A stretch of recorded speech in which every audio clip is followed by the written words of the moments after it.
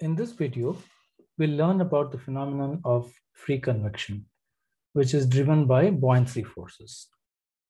First, we'll see the origin of buoyancy force. Buoyancy forces occur for any fluid that is under gravity. So consider a fluid in this light blue color, which is under gravity. Gravity is in minus z direction here. Then because of the at equilibrium, the pressure has a equilibrium distribution that pressure decreases from here to here. That is partial P by partial Z is less than zero. Or you can say that P is some P naught minus rho GZ. This is the well-known hydrostatic pressure distribution. Now, consider some arbitrary packet of fluid, of another fluid, or it could be another solid and so on. Buoyancy forces comes due to the sum of this pressure force on this object and the uh, body force acting on this body. The body force acting on this body is nothing but rho 2 times V times G, where V is the volume of this body. Rho 2 is the density of this body. And the uh, uh, net pressure force acting on the surface of the body is simply integral over dA, that is the surface, times minus P. This minus P comes because P is taken as compressive and A is the outward unit normal. So the net point, uh, buoyancy force is an integral over dA of the total pressure plus the body force on this uh, closed volume. Now consider variations of density in a fluid. Density can, can vary either due to concentration changes or temperature changes. So if there is a mean density rho naught, then uh, when you increase the temperature, usually the density decreases. Like for example, the red line here is the temperature distribution along Z. Now at higher temperature, you usually have a lower density. So this dashed line is the density variation because of this temperature variation. So as the temperature de decreases, density increases. Similarly, density can also change due to concentration effects. For example, here the concentration decreases, also decreases with height. However, in most cases, the density also decreases with concentration. So as you decrease the concentration, the concentration, the density also decreases. So in a fluid where you have temperature differences or concentration differences, then buoyancy forces can come into play. Before getting into understanding why uh, buoyancy forces lead to convection, let us understand a few important uh, principles. Firstly, what do we mean by stratification? Stratification simply means variation in density. When you have different densities in different layers, then the fluid is said to be stratified. For example, here we have the lighter fluid below the denser fluid. Now, by conventional logic, you would think that this is always unstable. Actually, it has to be clearly qualified. This uh, stratification is not inherently unstable. That is, if, if this is left this way without any disturbance, then it will continue to exist. It is only when you have small disturbances to this interface between high density and low density that you have this system to be unstable. We'll see how this is derived or how you can understand this. For that, let us consider the net uh, force due to buoyancy on a packet of fluid. So here we have a light blue uh, fluid inside which, which is called as the surrounding fluid, inside which we have a packet of uh, fluid with density rho p. So rho p is the packet uh, density, rho s is the surrounding fluid density. Now we want to find the net buoyancy force on this packet. So we use the same formula as we saw before. FB is integral over dA into P plus uh, rho 2 times V times G, where rho 2 is the uh, uh, density of this packet, which is uh, rho P here. And let's write the pressure force balance. Let's expand this. If we write for the vertical uh, force, that is on the positive z direction, then uh, dA times P is this dA. So this dA is nothing but this area. Area times P. Now area on the top surface is positive Z. So you have this goes as P2 times A. And here it is area is in this direction. Outward normal is in the negative Z direction. So area is minus. So you have minus P1 times A. So this minus is outside, minus of P2 minus P1 times A. And then gravity is in the negative Z direction. So we have minus rho P Vg, where rho P is the packet density. Now, P2 has a relationship on P1. So P2 and P1 are related by the density of the uh, fluid. So that's where this pressure uh, comes in as P1, P2 is P1 minus rho S, which is the surrounding density, G times H, which is this height between P1 and P2. So uh, writing this here, we have uh, P2 is P1 minus rho GH minus P1. So what we have is P1, P1 will get cancelled and this remains the same. So what we will have here is minus of this. So this becomes rho s minus rho p times Vg.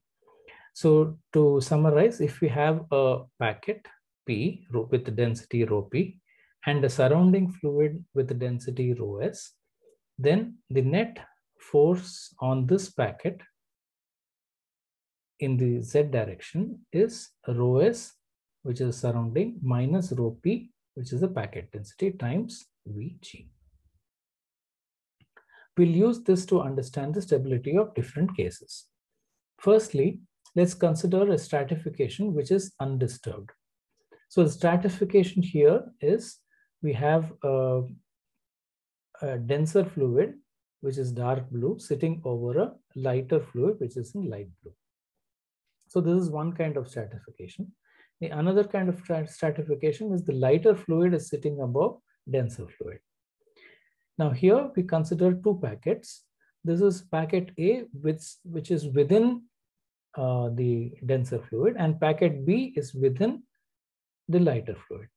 So if you write the uh, net force on net buoyancy force on packet A, it is again the same expression we saw here, rho s minus rho p times Vg. So rho s minus rho p times Vg now here, in this case, rho S is the uh, surrounding fluid, which is rho 2 here. So rho S is rho 2 and the packet is rho P. Rho P is also rho 2. So rho 2 minus rho 2 times Vg. So the net force on this packet is 0. Similarly, you can write a balance for B where the rho S and rho P are both equal to rho 1. So the net force on this packet is also zero. So it does not matter if we consider this kind of stratification or this kind of stratification, any packet of fluid anywhere in this system will hold, this will hold good. So which means that the net force on any uh, packet is zero and therefore uh, this, this system by itself is stable. Nothing will happen to this. If you, if you keep it gently enough that you pour a, a light liquid and then you are able to place the heavier liquid on that without disturbing this, then this will continue to remain like this forever. However, in practice, when you add a second liquid, you could cause a disturbance. So let's see what happens when we cause a disturbance. So we have here what is called as a stable stratification. Stable stratification means a lighter fluid is there over a heavier fluid. Here, rho 2 is greater than rho 1 as before. And then we introduce a small disturbance, say because you entered the room or you just shook the bottle, there's a small microscopic disturbance that is introduced. So that we represent like this waveform. Now let us replace this waveform by a packet. So here we'll replace by a square packet and here we'll replace by another square packet. So this is essentially a waveform where the bottom fluid has gone to the top fluid and the top fluid has gone to the, come to the bottom fluid. Now let us write the same force balance on uh, packet A. So the net buoyancy force on packet A now, for packet A, the surrounding liquid is rho 1. So rho s becomes rho 1 and the packet density rho p becomes rho 2. So what we have here is this net force on packet is rho 1 minus rho 2 times Vg. Since rho 2 is greater than rho 1, this term is negative. That is, this net force is less than 0, which means the net force is in the downward direction. What does that mean? So any disturbance that is caused here, which uh, goes up, the uh, buoyancy force actually restores it back to the initial state. So anything that pushes up, buoyancy force pulls it down. Similarly, for this packet, the uh, surrounding liquid is rho 2. So rho s becomes rho 2. And the packet's density is rho 1. So P becomes rho 1. So since rho 2 minus rho 1 is positive, the net force on packet B is greater than 0, which means it is in the positive direction, positive Z direction. So again, any packet that comes down is restored back to its initial position this way. So any disturbance that was caused here comes back to it to its original position. Now let us consider the opposite case of uh, unstable stratification. Unstable stratification because you have rho 2, the higher density sitting over rho 1. And again, we consider two packets here. This fluids packet has come down as a square packet and this fluids packet has gone up here. Now let us write for packet A. So packet A, again the same expression. Packet a, the surrounding is rho 1. So rho s has become rho 1. And the packet's density is rho p is rho 2. So again, rho 1 minus rho 2 is less than 0. So this has a downward motion. And similarly, packet B has an upward motion, same as before. Except now, downward means packet A is pulled downward and packet B is pulled upward. What does that mean? Packet A drags more of this fluid downward. Similarly, packet B drags more of uh, this fluid upward. So any small disturbance therefore leads to a convective motion. So initially stable uh, interface, if you have a small disturbance, this leads to a driving of the flow in this direction and this direction. So any small disturbance will cause a convective motion. So this is the origin of what we call as natural or free convection.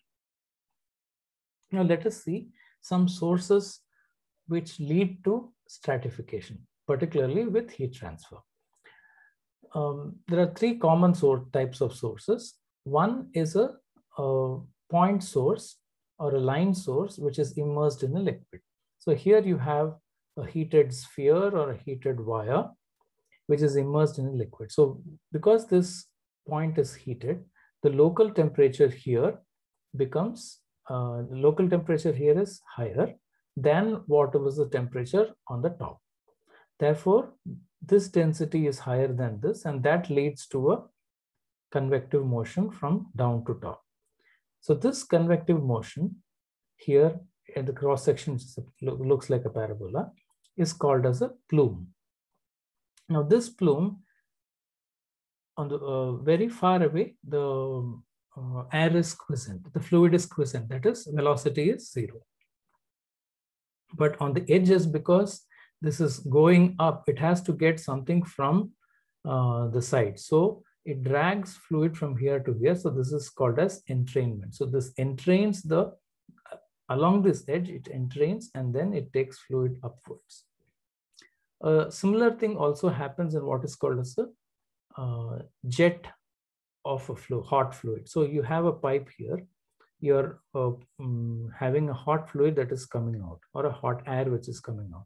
Now, because this is hot uh, and outside is cold, this is denser than this and this leads to an upward motion. So the jet initially has a horizontal motion and this uh, convection, uh, natural free convection leads to an upward motion. So the jet takes an angular uh, curved path this way. So this is also called as a buoyant jet.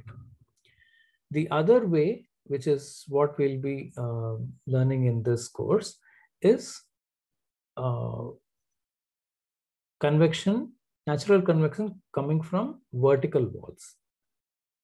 In the case of vertical walls, this entire uh, wall is heated. And because if you see locally, this will be at a higher temperature compared to something which is outside. So because this is at higher temperature, this will have an upward force and then uh, you will have a boundary layer that is developing and it will also uh, have a small amount of entrainment. So this is uh, the velocity profile and this is the uh, temperature profile in this boundary layer. To summarize, the origin of free convection, it is the buoyancy force and buoyancy force is the net of pressure forces and body forces acting on a packet of a fluid. The co common convention, uh, common uh, intuition that heavy fluid on top will all uh, is always unstable is not correct. It is unstable and it, it is stable so long as there is no disturbances. If you introduce disturbances, only then this will become unstable. And disturbances uh, in when you have this unstable density stratification, unstable density stratification is the origin of free convection. Thank you.